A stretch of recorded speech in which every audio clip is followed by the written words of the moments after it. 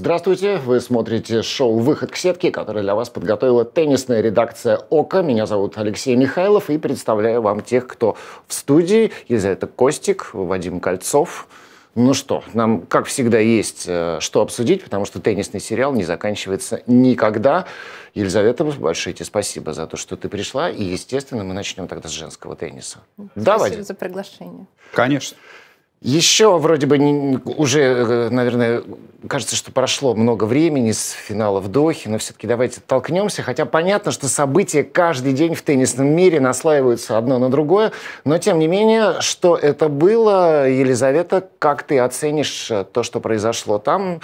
Э, ну, с финала, конечно же. Давай. С вишенки на торте. Да, да. Что это было и почему это так закончилось? Но для меня вообще это развитие событий достаточно закономерное, потому что все-таки Доха — это вотчина Иги Швентек, и несмотря на то, как бы она ни начинала сезон, мне кажется, там она себя чувствует ну, максимально уверенно и, вопреки всему, побеждает, несмотря на то, что по ту сторону сетки была Елена Рыбакина. Неудобная для нее традиционно соперница. Неудобная, но все-таки, говоря про Елену, важно не забывать то, что для нее это уже второй финал подряд, и мы превозносили всю неделю Каролину Плишкову, которая просто превознемогала себя, делая перелеты. мы еще перейдем. Давай да с этими все-таки Да, но вот Елена, она же тоже достаточно уставшая, подошла все-таки э, к финальному матчу, ну, учитывая... Ну, вторая то, неделя подряд, да. Вторая неделя подряд, да, это перелет, и с начала сезона Елена жаловалась, у нее были проблемы со здоровьем, поэтому я думаю, все-таки физически она показывала не свой лучший теннис. Но и мне условия, не... плюс еще были и в условия. пользу Иги. И условия. Но мне не хочется обесценивать победу Иги, говорить о том, что там, если бы лучший теннис Елены, я вообще считаю, что если бы любой игрок показывал свой лучший теннис, он, в принципе, победил бы любого. Но уж если Елена Рыбакина, то подавно. Вадим, как ты считаешь, э, ну так фантазируя об этом противостоянии, когда, наконец, обе теннисистки подойдут к концу карьеры, в чью пользу будет счет личных встреч. Ну, ты знаешь, Леша, ты от меня такой прогноз... Ну, так, чтобы подключить хочешь. тебя, да, сразу, сразу, не в бровь, а в глаз. Я люблю прогнозировать, но здесь, э, честно говоря, у меня нет никакого видения, как будет развиваться карьера Елены Рыбакиной, и уж тем более, как будет развиваться карьера Иги Швентек. На мой взгляд, все-таки те лавры и те достижения, которые сейчас а, у Иги, ну, они на мой взгляд, немножко не соответствует тому, какая она теннисистка. Вот э, буквально О, несколько, дней на, несколько дней назад думал на эту тему, вспоминал, какой, например, был тур в десятые годы, когда была Сирена Уильямс, когда была Мария Шарапова. Э, вспоминал более ранние времена, когда была Жюстин Энен. А, и мне кажется, все-таки, если можно было бы смонтировать матч той же НН против э, Иги Швентек, или уж тем более топовой Сирены, или Марии Шараповой, но несмотря на то, что э, принято считать, что спорт всегда прогрессирует, вот у меня есть ощущение того, что все-таки Сирена бы обыграла Игу. И Жюстин с ее интеллектом, мне кажется, тоже. Поэтому, кто знает, как будет развиваться карьера. Конечно, очень все профессионально у Иги Швентек. И психолог, и тренер. Все на своих местах. Условия идеальные для того, чтобы вся эта песня продолжалась. Но, тем не менее, может быть, кто-то появится. Может быть, сама Швентек э, немножко сдаст не знаю. Ну, пока она арену к себе не подпускает, да. Да, задел есть. титул, так что есть. Но вот ты хорошо начал вспоминать сейчас звезд прошлого. Я, например, вообще считаю, что если бы в туре была бы Эшли Барти, угу. это было бы лучшее, что можно вообще себе представить. То есть первая ракетка мира, про которую все знали, что у нее нет удара слева, двуручного бэкхенда. При этом она выигрывала шлемы и была первой, и делала это так что вообще этот удар она практически и не показывала никому. Ну, как бы есть мощные, высокие, атлетичные, бьющие теннисистки, но Барти это было нечто особенное, и я очень по ней скучаю, потому что как раз на фоне вот всех, которые подают 200, которые попадают во все линии форхенды, форхенды и бэкхенды, там все-таки была тактика. И смотреть за этим было очень интересно.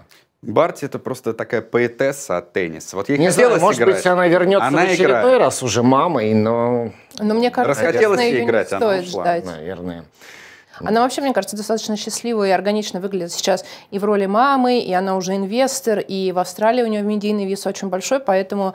Но... Она легенда. Да, да, и поэтому уже как бы напротив э, тенниса она поставила галочку, как сделано, и переходит куда-то дальше. Поэтому всегда, когда кто-то говорит, что ждет Барти, я так э, по-теплому говорю, ну, не ждите, ищите я себе... Скучаю. Я просто скучаю и понимаю, да. что это было нечто особенное, вот даже в ряду тех чемпионок великих, о которых ты сейчас говорил. Давайте перейдем к тем, кто летал в последние годы ниже радаров. И слово тебе, Вадим, потому что Каролина Плишкова, ты же неровно к ней дышишь. Ты всегда ее как-то отмечаешь. Я не знаю, что там у тебя, что там между вами, но расскажи, как она достигла такого просветления и начала играть так, как она не играла, я не знаю, два, три, четыре года, сколько? Пять лет мы о ней ничего не слышали, ну вот на решающих стадиях турниров. Что это, Вадим? Ну, между мной и сестрами Плишками, Плишковыми, кроме симпатии, нету ничего. Ну, а ты разочаровываешь нас. Увы. И себя продолжай, про хорошо, продолжай. А, по поводу Каролины Плешковой, э, мы с тобой не так давно обсуждали эту тему и говорили о том, что возрастные теннисистки, когда они набирают форму, теннисисты и теннисистки, обыграть их с учетом хорошей физической формы, игровой формы, опыта – а, и готовности играть подолгу, обыграть их очень сложно. Вот эта сумасшедшая серия, которую мы сейчас видим, с 6 по 15 февраля, 8 дней подряд, каждый день Плишкова выходила на корт и побеждала. Вот здесь как раз все сплелось воедино, все ее умения, хорошая физическая готовность. Э, ну, в общем-то, и соперницы некоторые были не самые сложные. У Плишковой, ну а почему она мне нравится? Ну, она классно подает, сильно бьет по мячу. Я таких игроков люблю. Вот я в свои игротские годы, например, все-таки по мне, наверное, даже в кадре видно, что я не самый крупный человек, поэтому мне, может быть, когда-то мощи не хватало. Я смотрю, вот так бить по мячу мощно, я не умел. Поэтому Плишкова мне нравится. Что происходит в команде сейчас? Кто там э, всем э, рулит-то, я не понимаю. Саша Бажин же был приглашен и отчислен. Да, да? уже давно. Ну, это, его вот это второе пришествие, по-моему, повлияло только на прическу, да? Когда она с распущенными волосами вышла играть. Ну так что? Это просто никого не нужно, никаких специалистов уже не нужно. Каролина сама знает вдоль и поперек свою игру, свои возможности. Ну и вот как-то она со своей командой э, подобрала я не может быть, это предсезонка была так качественно Но сделана, которая выстрелила новый тренер сейчас. у нее в составе. Кто это? Я не помню имя, к сожалению, но он тренировал Динару Сафину, эм, больших звезд. Это не Желка Краен, случайно?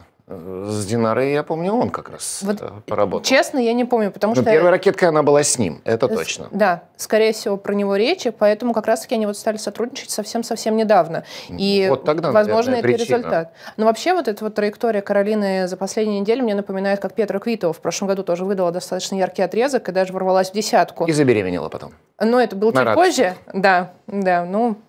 Ну, у Каролины есть сестра, которая, если что, еще и в этом ей подскажет. Про нее мы давно уже ничего не слышали. Ну, ну потому что она как раз-таки стала мамой да. и сейчас реализовывается несколько в другом поле. Мамы всякие нужны, мамы всякие важны. Так, э, что у нас еще, значит, из э, таких важных моментов, да, которые хотелось бы упомянуть? Вот серия э, без титулов, да. Ну, посмотрите, с января 2020 года – она не выигрывала ничего. Ну вот тут есть еще тоже соискательницы, да, которые хотели бы что-то взять. Ну вот э, Зигмунд, например, в паре неплохо э, с э, Верой Зунаревой, да, поиграла, но затащить Штутгарт в одиночку ей, наверное, вряд ли ну, удастся. Ранее играет до сих пор Викмайер. Ну, в общем, не собираются девушки заканчивать. Ну вот те, кто стоят не в первой сотне, а даже ниже. Ну, тут, конечно, Веру Звонареву нужно отметить. Баку 2011, второй вторая строчка рейтинга. Ну и сейчас она в третьей сотне, и, судя по всему, травмирована, да, потому что она не играет да, сейчас. Вера вот сейчас... эти э, Дубай, Доха, мы даже ни в квале нигде ее не видим. Ну и остальные тут, в общем, есть. Ну, Винус Уильямс, например, да. Да, ну или вот Лисицкий, которая сталкивалась с большим количеством травм, поэтому пропустила. То есть, ну, какая, какие-то пропущенные годы обусловлены этим. Ну и вообще меня, конечно, очень печалит Кристина Младенович, никогда не была ее фанаткой, но даже на уровне пары она брала и шлемы с Тимей Бабыш, и с Гарсией, и сейчас, ну, это, мне кажется, просто такой какой-то откровенный провал и очень печальный. И я совсем не верю, что он вернется в свои кондиции. Был... Ну, на пару, может быть, она еще соберется. Ну, вот... Может быть, с Каролин Гарсия они что-нибудь там такое обсудят и сыграют на домашних Олимпийских играх. Я думаю, это Ну, возможно, к тому все и идет. Да, скорее всего, их переформировали. Но в одиночке уже давно ничего не интересного нет. Если посмотреть, то она сейчас перекатывается по большей части с одного ITF турнира на другой. Ну, такое, да, печальное зрелище для ее болельщиков. Ну, вообще, если посмотреть, опять же, на эти фамилии в контексте Каролины Плишковой, э, то, честно говоря, ее длительный спад э, не очень понятен. Потому что, вот как Елизавета сказала по поводу некоторых теннисисток, причины их спада были травмы как, например, у Бьянки Андреевска. У кого-то это была временная вспышка, мы в этом э, списке видели фамилию Шмидловой. Но все-таки Шмидлова, мы понимаем, в системе это не победительница турниров WTA. Шмидлова для меня вообще загадка. Низкой категории. 22 матча подряд, и ничего такого. Флишкова же играла на уровне десятки. Она была первой ракеткой мира. Она была в финале финалы. шлема, да. да. И тут у нее внезапно вот э, какое-то выпадание из, э, из обоймы, которая сейчас э, тоже по каким-то причинам, может быть, тренерским, может быть, каким-то ее личным, Пойди разберись, что в жизни Плишковой происходит, почему так все случается. Ведь, и опять же, теннис — это мозаика. так много не играла, да, поэтому она снялась перед матчем со Швентек. Ну, понятно, что если ты на пределе, и вроде бы игра идет, ну, понятное, да, наверное, решение, но следующий турнир она опять играет. И опять она выигрывает да. уже в трех сетах. То есть сэкономила силы, решила, ну, со Швентек, наверное, не встречаться — ну, а дальше-то можно играть. Ну, то есть аппетит приходит во время еды, но она так избирательно все-таки ну, вот заказывает блюдо. Мне кажется, как раз то, что у нее не было какого-то достаточного количества мотивации, и когда она проигрывала где-то даже в первых кругах или не самым сильным соперницам, ну, я, честно, не думаю, что она как-то очень сильно расстраивалась, и вообще просто, может быть, даже махала рукой, и учитывая, какая обычно Каролина спокойная, безэмоциональная, не думаю, что ее как-то это негативно триггерило. А сейчас одна победа, вторая, и как будто ты вот действительно, сказали, второе дыхание, э, начинаешь э, щупать свои границы и лимиты. А слабо ли мне еще вот так вот? И вообще у нее же этот сезон еще начался со смены экипировщика, она теперь играет в Adidas, она ушла от Филы. И как будто, в общем, это такой полноценный новый виток. Рестарт, она, да? Да, да, просто перезагрузилась, обнулилась, и а почему бы и нет, почему бы не испытать снова эти эмоции? Хорошо, Вадим, ну, ну как далеко она готова зайти? Топ-10? Я еще один Финал момент добавлю. шлема. Если рассмотреть техническую сторону Каролины Плишку, кто такая Каролина? Ее не наз... нельзя назвать гибкой теннисисткой, эластичной. У таких игроков... Жестковато, да. Да, у таких игроков очень много зависит от чувства мяча. Поэтому даже то, что она надолго выпадала, можно именно этим объяснить. То есть вот не чувствует человек игру. Все-таки ей нужно идеально подходить к мячу, идеально вот центром ракетки играть, как она сейчас это делает. Вот сейчас она наконец нашла это, почувствовала, и вот урожай, в общем-то, яблоки сыпятся с дерева э, градом.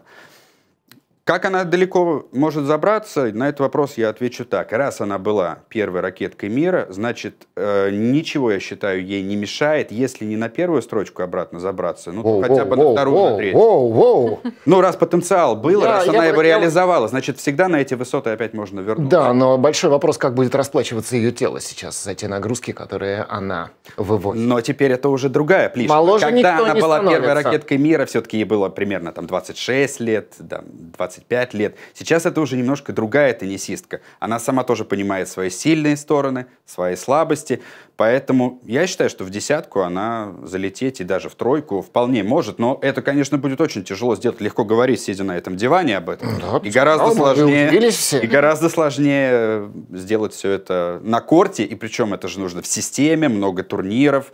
Э, играть хорошо, и чтобы, опять же, вот эта самая мозаика, о которой мы уже говорили, травмы, тренерские моменты, личная жизнь, все это способствовало, а не мешало. Ну а потом еще начнется грунт, который не хард, более удобный для Каролины, который все-таки предполагает больше перемещений по задней линии по всему корту, а это с ее прямыми ногами не совсем ее стихия. Это да, но потом начнется трава, а уж там, казалось бы, она вообще Потом ее Open, и сезон закончится, и она в десятке, да?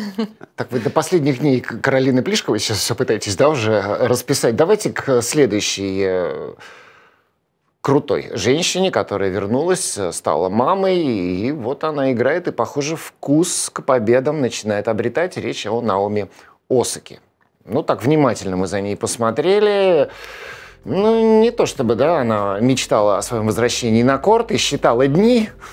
Эм, такой body language, вот то, что говорят, как она выглядит, я думаю, что это большая проблема для ее тренера, потому что видно, что она не очень хочет. Но постепенно начала прорезаться подача сначала, потом четвертьфинал, где они как раз с Каролиной Плишковой, там два тайбрейка, по-моему, да, они mm-hmm. сыграли. Ну и вот э, что с ней э, происходит. Количество эйсов уже немножечко подросло, процент первой подачи примерно ну, на том же уровне. Реализация первой подачи даже лучше, на второй немножко не добирает и хуже играет на приеме. Но, в принципе, что-то такое уже тут можно найти, Наоми.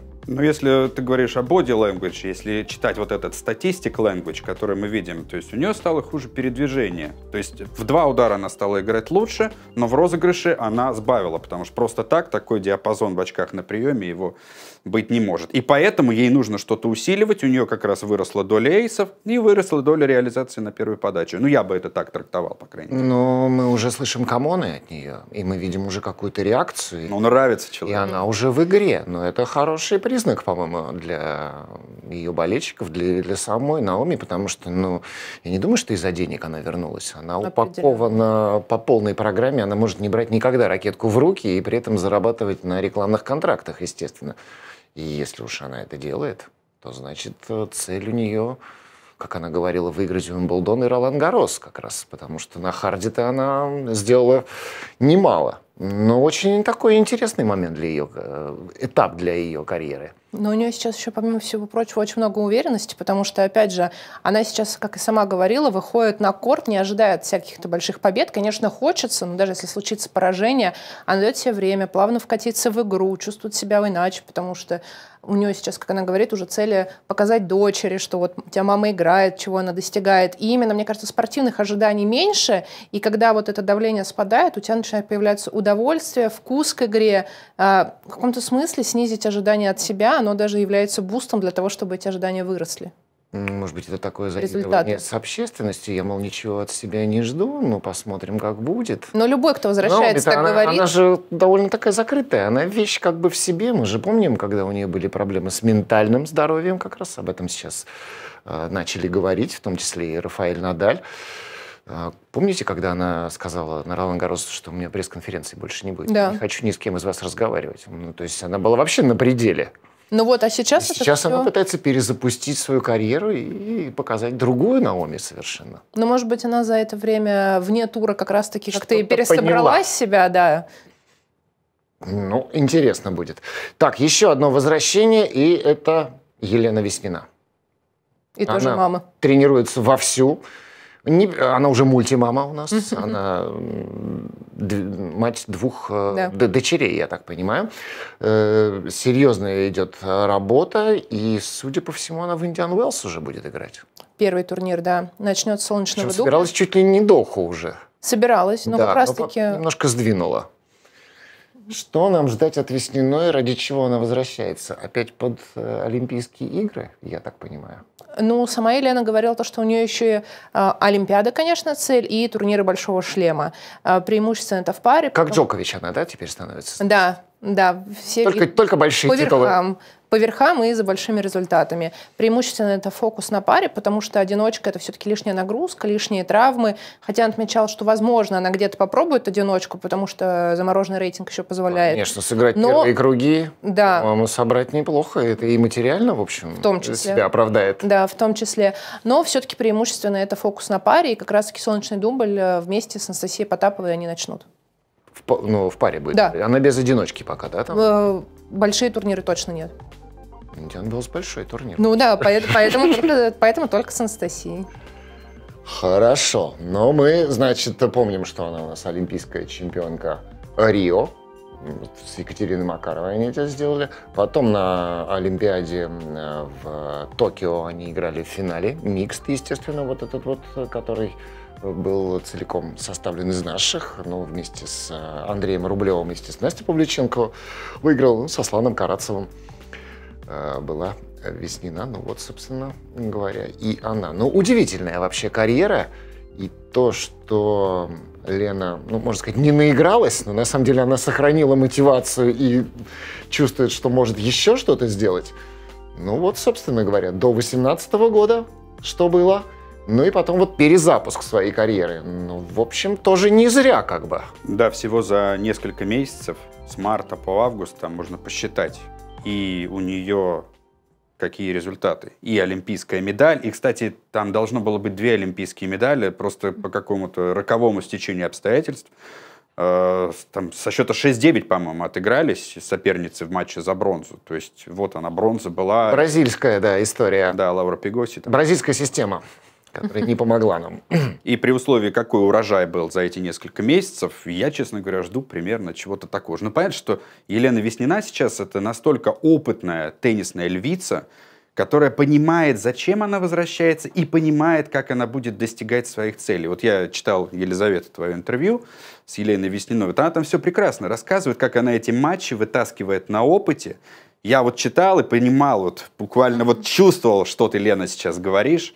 Это было классно. Но еще интересный момент. Елена рассказывала, как она визуализирует удар а, и повторяет в голове, воспроизводит тот, который только что удался. И вот, то есть а, каждый раз вот эта вот схема визуализации очень помогает, то, что, чтобы набирать очки из подачи точно так же. Я была на тренировке, я прям видела вот эту вот концентрация, когда вот доли секунды до удара, но ты чувствуешь, что сейчас в голове вот этот щелчок произошел, и теперь уже от мысли к действию, и это просто пушка справа, пушка слева. Очень, конечно, эффектно. Да, и сравнить, вот, э, то есть прогресс игрока. То есть все-таки 20-18 лет, ну ты просто играешь в теннис, ты бьешь по мячу, не, о, о многом не задумываясь. И совсем иная ситуация, то есть у человека компьютер, вот то, что и Елена рассказывает, и ты, Елизавета, о чем сейчас рассказываешь. То есть, когда ты уже технологию понимаешь, как тебе нужно выполнить удары, если где-то у тебя физика уступает молодым, ну, у тебя зато голова на таком уровне по сравнению с этими молодыми, что ты еще попробуй, обыграй, попробуй, выцарапай у Елены Весниной то, что ну, она уже считает. Молодых-то еще вся карьера впереди, а игрок вот на этом этапе уже Но это как, это как бережно и, и внимательно относится к каждому матчу, понимаешь, э, сыгранному. То же самое сейчас, например, вот Анастасия Павлюченкова прекрасно делает. То есть вот она золотая зрелость, которая пришла ее игру. Ну хорошо, сейчас, э, Елизавета, твой выход. Мы переходим Сетки. к Рафаэлю Надалю. Мы знаем, что ты с детства за него, да. как и многие. Здесь э, Рафа сыграл несколько матчей. Это был подарок для нас всех в этом году. Потом очередная травма, вроде бы не та, которая беспокоила его последний э, год, который он не играл. И вот очередное возвращение. Э, тоже хотел сыграть на Ближнем Востоке, но потом все-таки решили, что он сыграет в Индиан Уэллс. Но известно, что на Рафе живого места нету. И там еще между этим будет э, выставочный турнир в Лас-Вегасе с Карлосом. Да, они должны сыграть. Не турнир, матч, точнее, да, Netflix Slam. Так еще подрав уже вот этот вот э, турнир э, Six Slams Champions, mm-hmm. который хотели провести после Австралии сразу же, но Раф получил травму, а без него народ не полный, как говорится. Коробочка и, не полная. Да, и турнир отодвинули. Ну а Рафа вот он. Рафа задумался.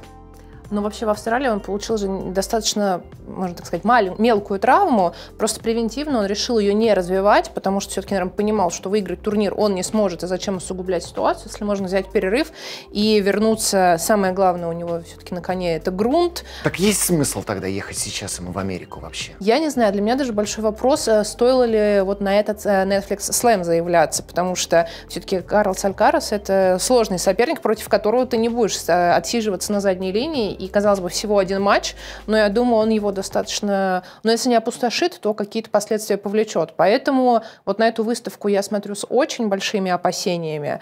Но американская серия, ну, наверное, когда-то все-таки надо начинать, потому что игровая практика, пусть и на харде, она все-таки нужна.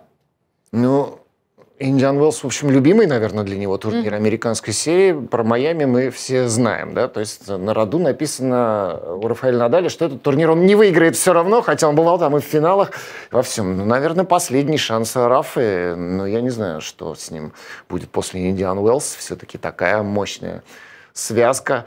И, и погодные условия не самые удобные. Как ты считаешь, Вадим, может быть, э, я не знаю, Надалю нужно было поехать э, в Южную Америку? Сыграть что-нибудь там на грунте, а потом уже вернуться в Европу и играть там Монте-Карло, Барселону и дальше со всеми остальными. Вообще исключить уже этот хард. Как ты считаешь? Мне кажется, с моей стороны было бы высокомерно давать Рафаэлю Надаль советы. Они знают, что они делают. Но, конечно, скажем, будь я на его месте, я бы начинал с Монте-Карло. О. Да, потому что, ну, все-таки грунт, мягкое покрытие, где и коленочкам, и ножкам все удобнее. А тут можно сыграть, э, ну, скажем так, не совсем очевидные турниры и опять усугубить. Э, ведь в Брисбене были получены эти повреждения, mm-hmm. которые со здоровьем. Это повреждение. И все же может вернуться, и получается, если он, допустим, сейчас сломается в Индиан Уэллс или Майами, то опять он может вылететь на 2-3 месяца, и Ролан Гарос-то будет под и угрозой. И не увидим Рафу на грунте, но это вообще... Ну да, то есть на самом деле здесь все-таки грунт, мне кажется, и для него приоритетен. Все-таки здесь он еще действительно свой шлем не просто может выиграть, а вспоминая то, что было в Брисбене, да я бы его назвал одним из э, главных фаворитов Ролан Гароса, если, опять же, переместить ту игру, которая была в Брисбене, а это было просто великолепно что матч против Кублера, что матч против Томпсона. Это вообще космос, э, то, что было и со стороны э, Рафа, и со стороны Томпсона, который не показал бы такую игру, не было бы на другой стороне корта Надаля. Поэтому, на мой взгляд, э, здесь э, у Ролан Гарос, мы, конечно, далеко забегаем вперед, но Рафа один из главных фаворитов этого турнира. Лиза, расскажи о том, как ты э, об истории любви с Рафаэлем Надалем? Где ты его видела? На каких турнирах ты наблюдала угу. его игру? Куда ты ездила?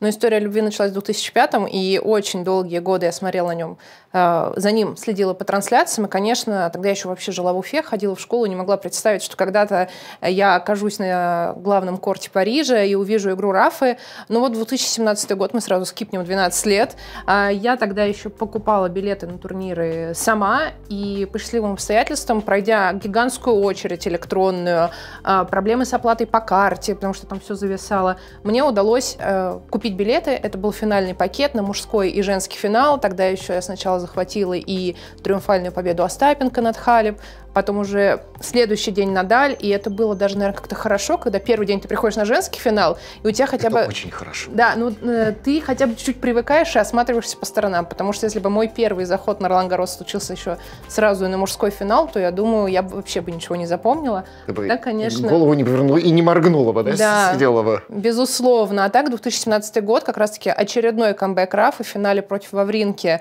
Он выиграл свой десятый титул, были огромные растяжки, цифры 10, Э, Рафа плакал, я в испанский флаг завернулась, тоже плакала, потому что очень эмоционально это все воспринимаю. Ну и потом еще в 2018-2019 год я точно по такой же схеме ездила. И в прошлом году, в 23-м, получается, была на Ролан-Гарос. И Монте-Карло очень ждала, потому что Раф опять же снова возвращался, что мы такие увидимся. Причем уже сейчас есть несколько больше опций для того, чтобы еще увидеться за пределами корта. Но сначала это очень грустное объявление, что он снимается с Монте-Карло, хотя до последнего висела эта интрига в воздухе, но и с Ролан Гарос. Но я не оставляю надежд встретить его еще и на корте, и где-то в потрибунном помещении. В общем, надеюсь, чуть позже мне будет что рассказать на этот счет. Я коротко тебе отвечу. А я с Рафаэлем Надалем виделся в Москве. Как так? Он был в Москве, представляешь? Он не играл, но угу. он был в Москве. Я не помню, что было э, за история, но его привезли. Э, продавались э, таунхаусы на Минорке. Угу. И Рафа приехал, и заход был такой, что покупаете таунхаус, и ваш сосед Рафаэль Надаль.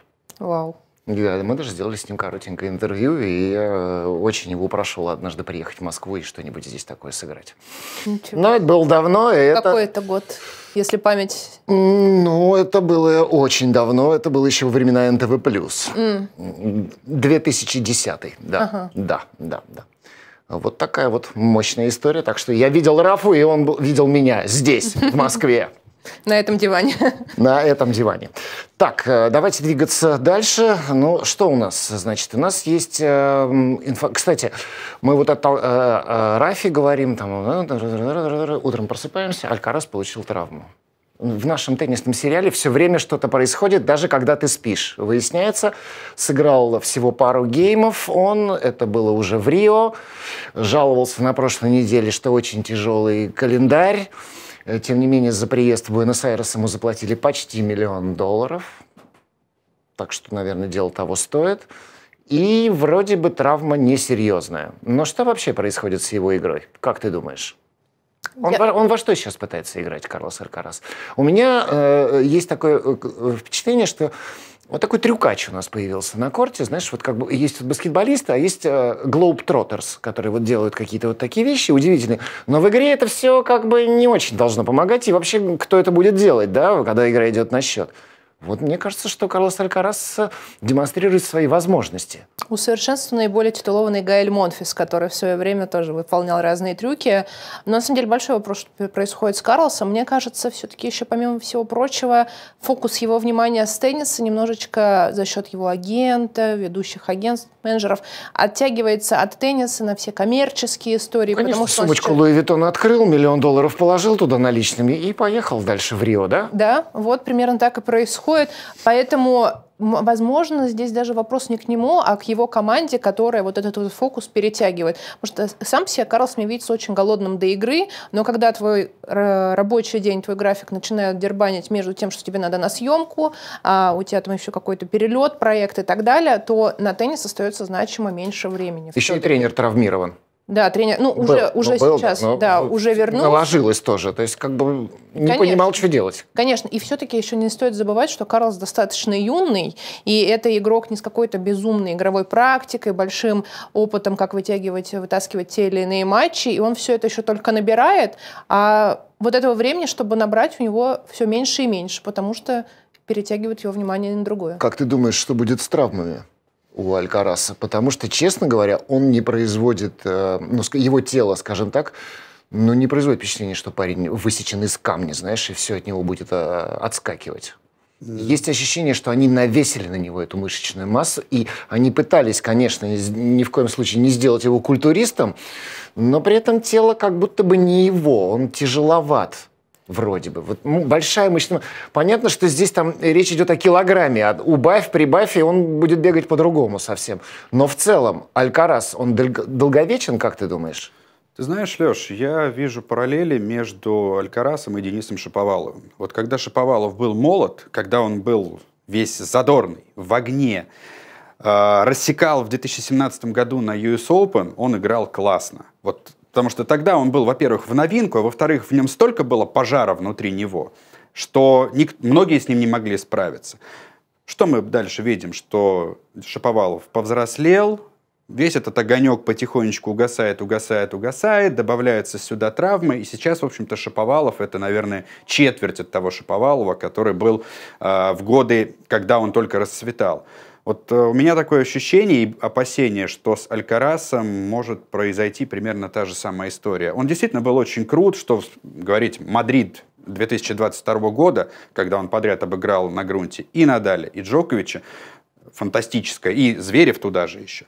Фантастический был теннис, акробатический, как ты, я с тобой абсолютно согласен, согласен по поводу Гарлем Глоб с этой аналогии. Да, он теннисный трюкач, но здоровье и, и тело уже не позволяет трюкачить. И плюс он взрослеет, и этот огонек, мне тоже кажется, он погасает потихонечку в нем.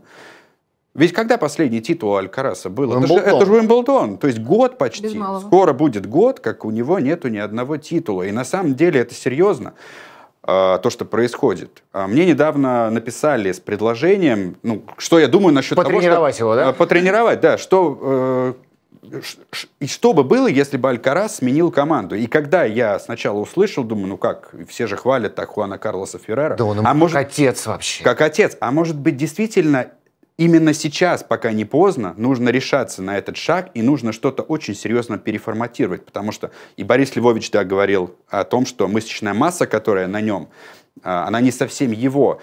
Но что-то мы видим происходит неправильно.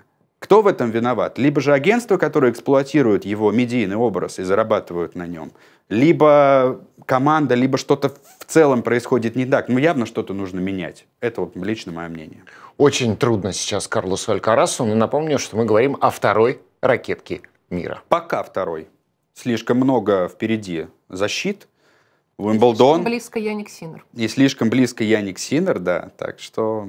Да и тем более, что Яник Синер. Яник э, Алькарас сам уже, в общем-то, снял с себя ответственность, сказав э, до сезона то, что он считает, что Синер станет первой ракеткой мира в этом году. Ну вот к Синеру как раз-то мы и перейдем. Яник Синер проходил тоже через э, такой же этап в карьере, да, там, значит, Руна уже выигрывает Мастерс, Алькарас тоже здесь, и Синер меняет команду. У него был Рикардо Пьятти, Мария Шарапова, там же тренировалась, ну, казалось бы, лучше не бывает. Тем не менее, он пошел на этот шаг, и посмотрите, в кого он у нас превратился. Парень выиграл первый турнир «Большого шлема», но он отжигал еще и в конце прошлого, но вот уже титулы посыпались как из рога изобилия. Австралия он выигрывает и выигрывает Роттердам на прошлой неделе у Алекса Де Минора, который тоже в топ-10, и, в общем, демоном его не зря называют, потому что парень бегает по задней линии выдающимся образом. Во-первых, не часто в истории игроки после первого турнира «Большого шлема» выигранного брали следующий турнир. Ну, я Марат Сафина припомню, после US Open он улетел в Ташкент и выиграл тогда. Синер очень думающий, очень спокойный. Когда его после победы в Роттердаме э, спросили, ну что ты думаешь о своей игре, очень, говорит, много размышляю, говорит, до сих пор не могу ответить себе на вопрос, где я был первые два сета в финале uh-huh. Australian Open, и почему я так поздно включился. Прошел месяц. Парень затаскивает следующий турнир, но в интервью потом он говорит, что вот он переживает. То есть парень ты думающий, ну... парень уверен в том, что он делает все правильно в своей карьере.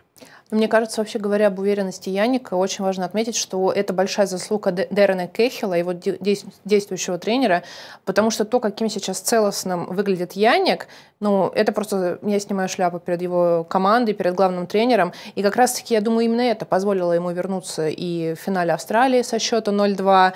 И все-таки раньше Яник, он был как-то, мне кажется, более уязвим именно психологически, еще и физически. Его часто, да, еще и физически. не вывозил частенько. Да, да, и судороги у него начинались при длительных матчах. Сейчас просто ничего этого нет, как будто стерли ластиком и перезапрограммировали его. Но вот эта вот уверенность и спокойствие, не просто спокойствие и рассудительность, а именно уверенность в игре, что он может, в принципе, все. И он обыгрывает и Джоковича на групповом этапе, и Кубок Дэвиса он отыгрывает два матчбола, и вот это как снежный ком со знаком плюс просто и вот он набирает... третий, а итальянцы так высоко в истории в еще истории. не поднимались. А, если сравнивать, я не знаю, с игроками прошлого, вот, Вадим, я не знаю, вот поведение именно на корте, с кем бы ты мог э, сравнить? Потому что, ну, я не знаю, но он практически в Сампроса уже превращается сейчас, Синер. Он настолько непроницаем, хладнокровен. Понятно, что игра совершенно другая, но вот именно вот э, такой типаж. Типаж, по-моему, это Роджер Федерер.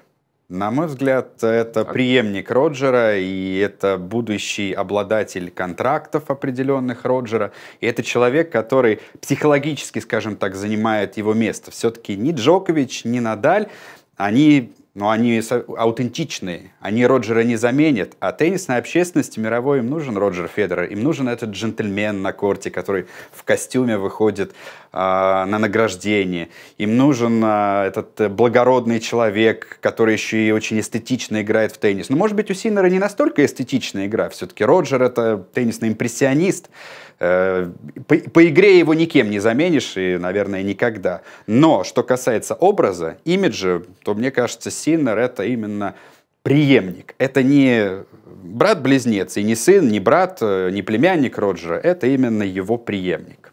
Преемник его король. Да, но вспоминая... Только надо играть хорошо, продолжать. Вспоминая легенду о Федерере, э, я помню его фразу, что он сам вспоминая и говоря о своей вот э, начальном этапе карьеры, он говорил, что я был э, похож э, на Макенроя. Он был сумасшедший. То есть, если он играл матч и видел, что его тренер куда-то отвернулся, он мог мячом залепить в затылок вообще тренера, чтобы тот за забор-то держался и смотрел на него.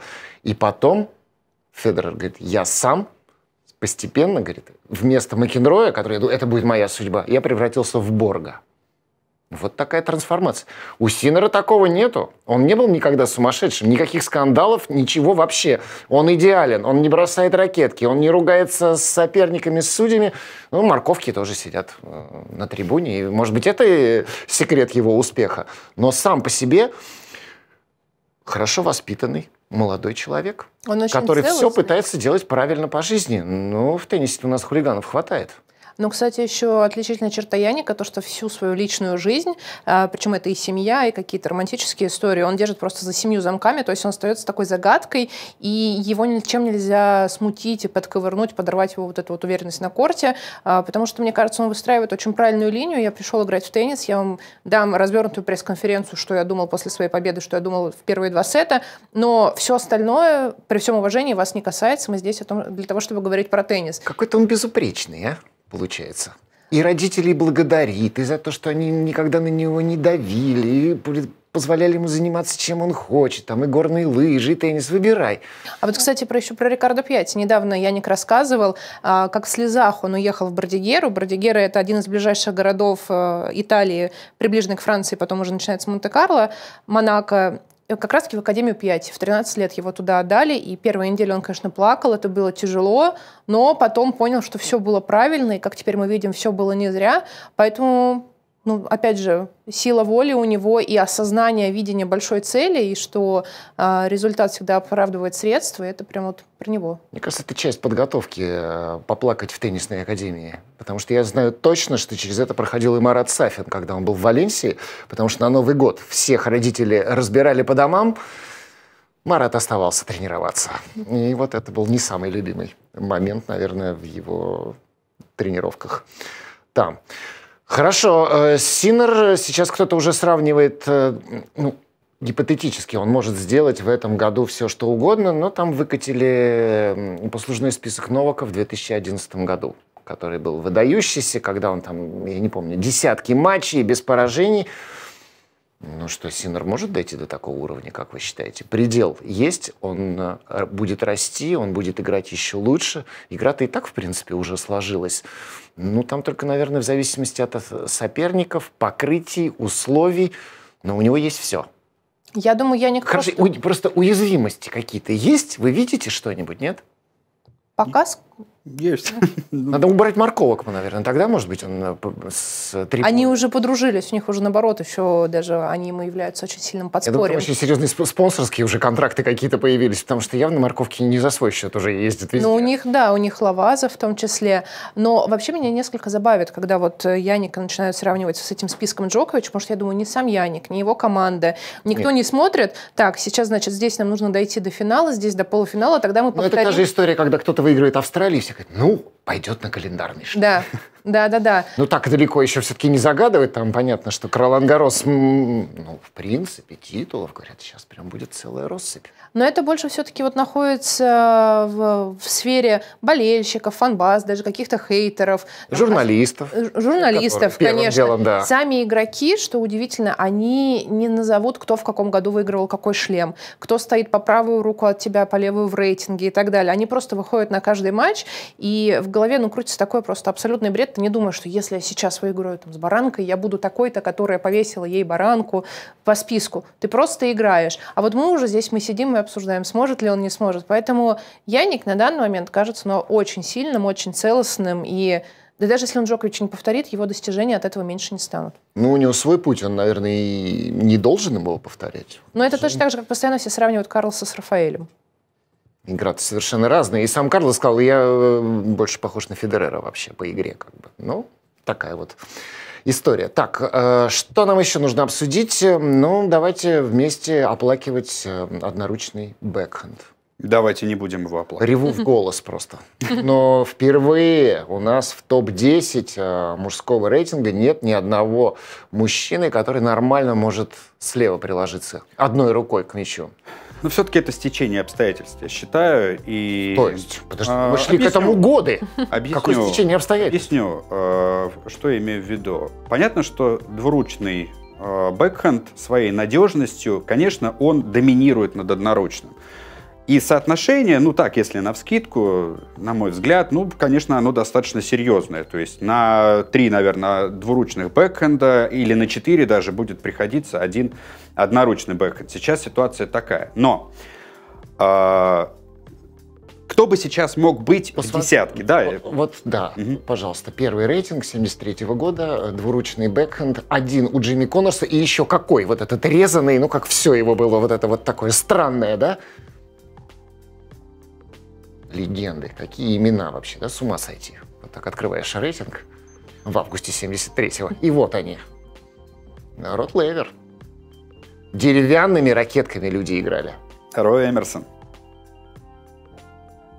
А, Потрясающе. Вот Рой Эмерсон, до этого был Панчо Гонзалес. Ну и что? Мы когда-нибудь доживем до времен, когда хотя бы половина в десятке будет играть одноручным бэкхендом? Нет.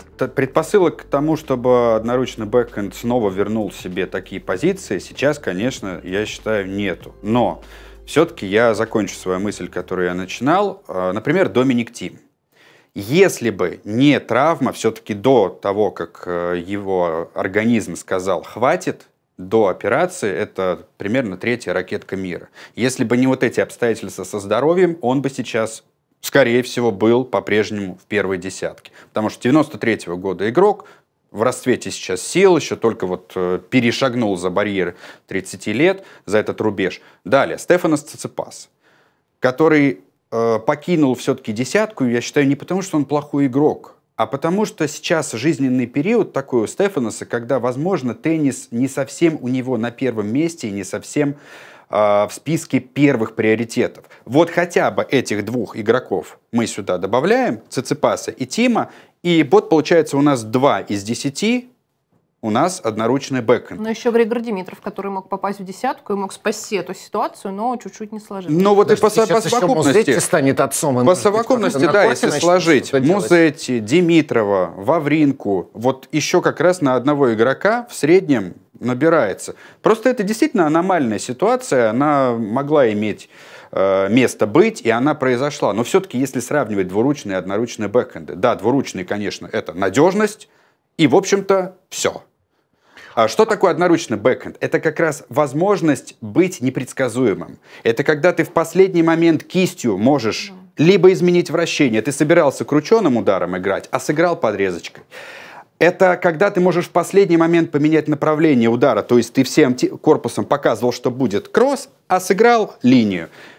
У двуручного бэкхенда такой опции практически нет. Поэтому тот человек, который выбирает надежность, а понятное дело, что синица в руке, она для многих лучше. Они выбирают двуручный бэкхенд. Но если ты хочешь быть именно внезапным для своих соперников, а, неожиданным и непредсказуемым, ты выбираешь одноручный бэкэнд. Вот я практически уверен, если бы сейчас спросить у Роджера Федерера или у Пита Сампроса, поменяли бы они свои одноручные бэкэнды на двуручный? Я практически уверен, что ответ был бы нет, тем более я уточню, что Пит Сампрос, он ранние годы, примерно до 15, до 16 он играл, лет, он играл двумя руками. И только тот тренер, я, к сожалению, забыл его имя, э, очень важный тренер в его карьере, который был до Пола Анакона, он же посоветовал ему Галиксон, перейти. Галиксон, который вот, да. умер, и когда он плакал, вот эта знаменитая да. история, когда он играл э, четвертьфинал с Курье в Австралии, он, вытирая слезы, даже не вытирая, подавал на вылет. Совершенно верно. Это вот. же он э, поменял ему бэкхенд, и Пит раз он за всю дальнейшую карьеру не вернулся к двуручному удару, а мы еще понимаем, что в 16 лет перейти с двуручного на одноручный, это не то, чтобы щелкнуть пальцем. Это требует большой работы, и в случае, если что-то не так, то всегда будут соблазны. А вот что, если вернуться опять к двуручному удару, когда ты до 16 лет играл, ты прекрасно помнишь, как это. И раз Пит этого не сделал, Значит, а, а Агасси при этом, его основной соперник, играл двумя руками слева. Я, значит, я думаю, что все было оправдано, и он понимал, что он идет по верному пути. Одноручный бэкэнд, я думаю, всегда будет. В туре, да, он будет представлен меньше, чем дву, двуручный удар, но представители, те люди, которые будут его использовать, они всегда будут находиться. Потому что это, безусловно, такой джокер в рукаве. И чтобы все разом отказались и стали в один ряд, что мы все обычные, мы все будем, никто выделяться не будет, а, мы все хотим надежный удар, всегда кто-то здесь будет такой, кто будет хотеть чего-то большего. И Музетти, вот опять же, молодой игрок, одноручный удар, но подожди, великолепный. Подожди, подожди, чисто математически мы же понимаем, что большинство детских тренеров будут учить э, двуручному бэкхенду. Вот и все. Да, но я есть при, при этом те... Я не исключаю, да. что в десятку может забраться один-два человека, которые будут э, хорошо играть одноручным бэкхендом, но это будет исключение все равно. Потом этот резанный удар, мне кажется, он самый недооцененный вообще в теннисе. Одноручный? Да. Ну вот Фелисиано Лопес, кстати, хороший пример. Да, да, даже Федерер, что он делал для начала? Он сажал соперника нарезанный вот этот вот. Давай-ка оставим мяч в игре, а дальше мы посмотрим. Но начинали все с того, что коротенький, неудобный, уходящий, резанный мяч, с которым тот же Бердах какой-нибудь не знал, что делать. А уже дальше Роджер ему объяснял, что произойдет. Тот же, например, сейчас Димитров. Где он был последние пять лет, я не понимаю. Вот буквально в последний э, пред, э, предыдущий год, наконец он начал использовать свой резанный удар так, как он должен был делать это с самого начала. Но он почему-то додумался до этого только тогда, когда потерял скорость. Ну, ну, сам по себе. Он повзрослел, когда ему но, стало 30 да, но, тем не менее, игра Димитрова сейчас, это вот я считаю, что это абсолютно образец из действующих игроков, одноручный бэкхенд, и как он строит игру, это супер круто. С одноручным бэкхендом заканчиваем. Ладно, на этом. Еще одна важная тема, значит, эм, судится у нас э, Симона Халеп. Судится безнадежно, судится уже давно. Э, она, напомню вам, дисквалифицирована за допинг, который попал в ее организм, тадам, через какую-то пищевую добавку. Она уже выкатила иск. И тут, смотрите, кто разговорился. Э, румынская теннисистка Сара Джессика Попа. 18-19 лет сейчас э, свою юниорскую карьеру она провела в Академии Патрика Муратаглу. И очень неожиданные вещи она рассказывает. Все юниоры, все что-то такое едят. И, естественно, юниоры понятия не имеют, что они едят, когда тренер говорит «да, надо». Естественно, она все это видела, и она ни много ни мало, она просто заклеймила Академию Патрика Муратаглу как то место, где все чем-то подпитываются. И э, когда наступает момент э, перехода во взрослый тур, вот здесь они уже начинают э, как бы точно употреблять и точно знают, когда это нужно, потому что начинается тестирование, естественно, уже с другой периодичностью, и вот чтобы это все обходить, они ну, с какими-то специалистами это все делают. Ну вот я могу еще один пруф, но не называя имен, так вокруг да около рассказать нет, про это Патрика. Вот с именами именно. Да, Пат... нет, ну, Мурат Аглы, вот это Нет, я имею в виду про Патрика. Да, про Патрика. Да, и, ну. Э, в апрель 23 -го года так. я впервые э, увидела Хольгера Руна вживую, как раз на турнире в Монте-Карло, и если мы видим в трансляциях, что он достаточно мускулистый, то вживую он очень широкий, и вот эти вот мышцы, они прямо у него как-то нарочито видны.